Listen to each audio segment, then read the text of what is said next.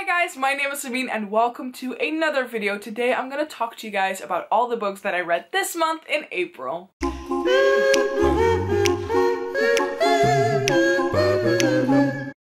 April has been quite a good reading month for me. Lately I've been just really in the reading mood and for me reading three books in a month is um, getting back to my regular amount of books that I read. It's been a long time since I've read this many books in a month. I've just been feeling so much better lately regarding university and right now I'm only doing half of my course so I have a lot more spare time. So that is why I'm super excited to be focusing more on booktube again and I also just want to read so much more in the spare time that I have. So if you guys have any video ideas or challenges or whatever, let me know in the comments down below because I want to film so many more videos now and um, I would really love to do more unique concepts as well. In April, I read three books. Well, I mean, I'm actually pre-filming this book, so today it is April the 28th. So I still have two days three days kind of to read so I'm pretty sure that I can finish the third book that I'm reading right now. The first book that I finished is The Poet X by Elizabeth Acevedo. I don't know it's like a Spanish culture book so I'm guessing that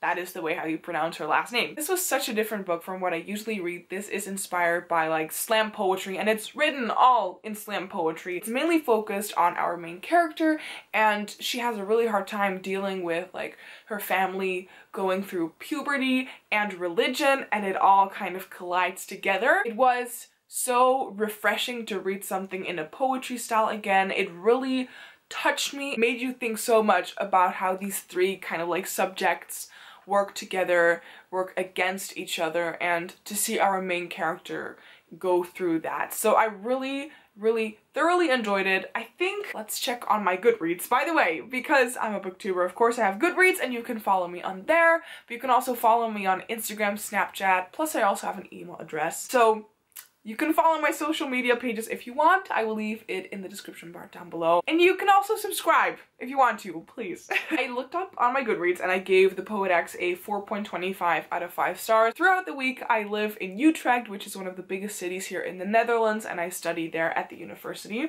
So I also have one big bookshelf over there, and I was thinking, okay, I should finally get to some of the books that I have there as well. So I picked up Truly Devious by Maureen Johnson. This is a book book Oh my god, this book by the way. okay, this book, it makes me so enthusiastic. In Truly Devious, we have two different kind of plots that we follow at the same time. It is all about Ellingham Academy, this really big like boarding school set up by Albert Ellingham. Back in 1936, his wife and daughter were kidnapped.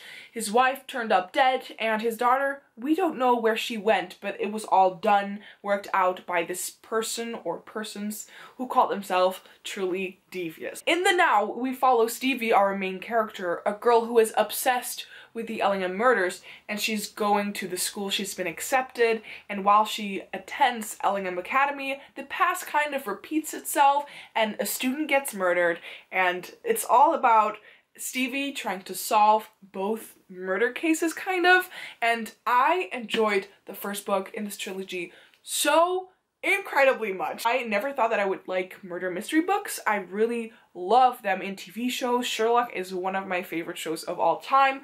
But in books, I feel like it just goes a little bit too slow. Like you have to put so much hours in reading a book versus a one and a half hour Sherlock episode. I mean, it's kind of I think definitely from now on I will read many more mystery kind of themed books. I don't know what it was that I loved the most, but one of the things which I really enjoyed was the back and forth between then and now. I really like going back in history and like seeing how things happened. It just makes it feel so much like, I don't know, it just has such nice vibes and the whole boarding school element just was totally up my alley. The only thing that I would say which I didn't enjoy as much about this book is that there are so many characters. Like there are a lot of characters. I could definitely feel for like the main character and a couple of the side characters. I really enjoy them all but there are just so many. So if you do not pay attention that well or you like read this book and then pick it up the next week you will probably have forgotten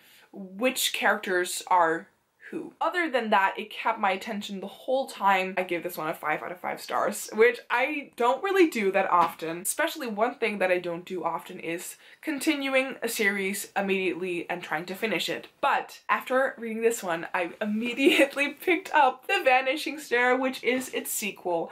I'm currently reading this one. I am like two-thirds of the way through and I think that I can finish this one on Tuesday before May starts. I cannot tell you anything about the plot of The Vanishing Stair because it's a sequel, but let me tell you that I'm enjoying it just as much as the first book. And the third book is gonna come out in January, so it will be a couple of months of waiting, which is a shame. I don't know, these books are really good and I think this is gonna be one of my new favorite series. A book that I'm still reading, which I promised to finish last month, is The Hobbit by J.R.R. Tolkien. The thing is that I've noticed is that I do enjoy the book when I'm reading it, but it's kind of a little bit slow. It's just not 100% what I love. So that is why I'm still reading it. I'm gonna force myself to finish it in May because I only have like a hundred pages left. Okay guys, those are all the books that I read in April. I'm super excited for May. I think I'm gonna try and do a little challenge in May. So if everything works out, a video will be uploaded in June about that. There you go. If you enjoyed this video, please give it a thumbs up and you can subscribe to my channel by clicking somewhere here on the screen or on the button down below. You can also find all of my different social media pages there as well. Thank you so much for watching this video and I hope that I will see you guys in the next one. Bye!